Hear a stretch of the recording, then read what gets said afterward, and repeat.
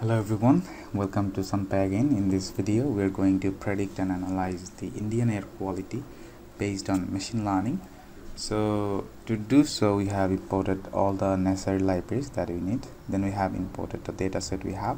We have found the dataset on Kaggle named as Indian air quality data. So to understand the data properly, we have checked uh, the first five rows of the data using the function uh, df.head and then we have uh, used df, df.tail function to check out the last five rows of the data. Then we have checked the shape of the data. As you can see that we have 13 columns in our data set and our data set is pretty big. We have around 43 thousands uh, thousands of rows in our data set so after that we check all the basic information we have got in our dataset using df.info function. As you can see we have different types of data type in our dataset like object float etc. And then we check how many null values we have present in our dataset. As we can see we have uh, a lot of missing values in our dataset we have used uh, isnull.sum function to check out the missing values in our dataset so to perform machine learning we must handle uh, we must take care of the missing values. Uh, after taking care of the missing values then we can um, perform machine learning and we can build our efficient uh, model for our program for our dataset after that we get the statistical overview of our dataset using the df.describe function. And as you can see we have all the numerical values here. This numerical uh, columns are nothing but the uh, pollutant present in our dataset. And also we can check out the mean standard deviation minimum and maximum numbers of all these pollutants in our data set. And so we get a pretty good statistical overview of the data. Then we check out all the unique values present in our data frame. After that we check out the columns uh, in our data set. Uh, as we have known earlier that we have 13 different column in our data set. Now it's time to visualize data, the data to understand the data properly uh, we need to visualize the data. So we start our visualization using a pair plot. And this is how our pair plot looks like. And this pair plot is nothing but a scatter plot actually. Uh, if we check the x-axis here we can see we have all the numerical columns present in our dataset and we have also the same columns in the y-axis.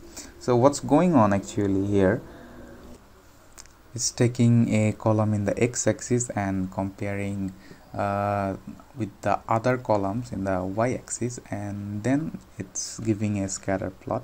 And so if we take sulfur dioxide in the x-axis and uh, pm 2.5 in the y-axis then this is how our scatter plot looks like. So in this entire uh, pair plot we are doing the same thing so after that we do the value counts for all the states we have. And after that we plot the value counts data. As you can see we have uh, created a histogram over here. Uh, and this histogram shows that um, the states present in our dataset. We have used a plot.figure function and uh, then we have used the histogram dot histogram uh, function to get this uh, pretty nice histogram. And after that we're doing the same thing for our type column. And this is how our histogram looks like. And we do the same thing for agency. We are counting the agency column. And the same thing for uh, then we have uh, created the histogram for agency as well. And now we're uh, going to uh, check out that which state has the highest number of sulfur dioxide present in the air.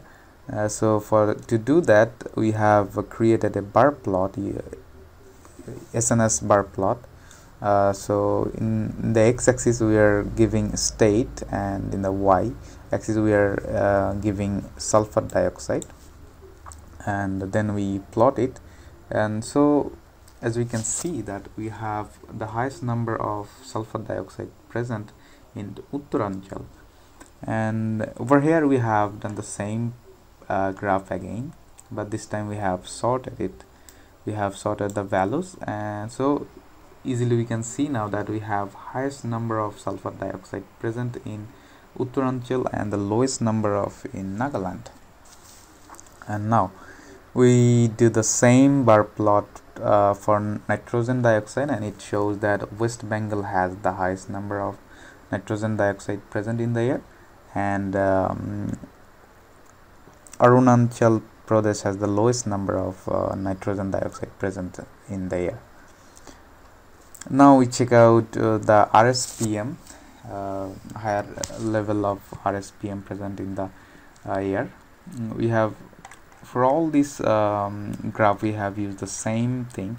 We have uh, created uh, we have created the visualization using all the same functions like we have used uh, plt dot figure and then we have given the same plot uh, figure size and we have also given x uh, x ticks and rotation 90 what it is doing actually as we are giving x ticks it's uh, giving the name of uh, all the um, state we have and it's rotating at the 90 degree angle so that we get a pretty good visualization. So this state name is uh, rotated at uh, 90 degree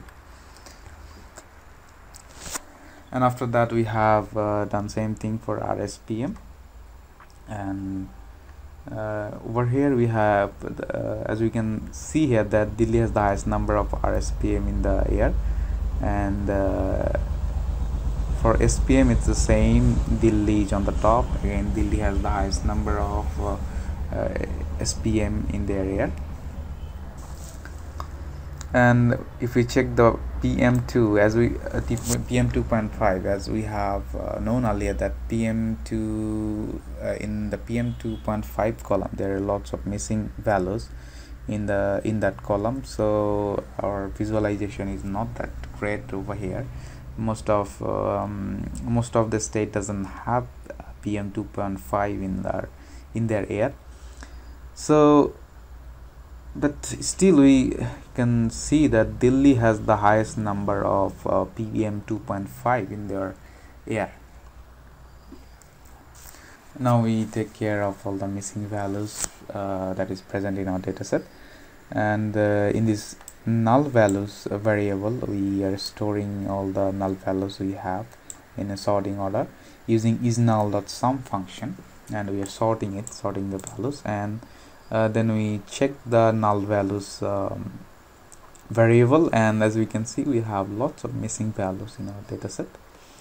And now we check uh, the um, overall percent of the uh, column wise percent of the missing values like in which column has the highest percent of uh, of missing values present. And then as we can see that we have uh, almost 98% of missing values in PM 2.5 column. And we have over 50% in SPM and we have 30 over 30% in agency and over 30% in STN as well. So we have to take care of all these missing values before we start uh, performing machine learning on our dataset. And so to do that as we have already check that we have lots of unnecessary columns in our dataset like uh, agency STN code uh, these unnecessary columns are not affecting our uh, our target column actually.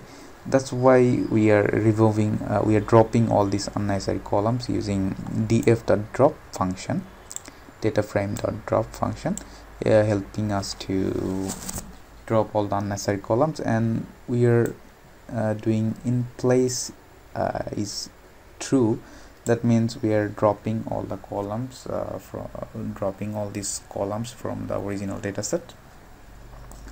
And now we check out dataset and uh, null values. Uh, as we can see we ha still have null values but we have less null values right now.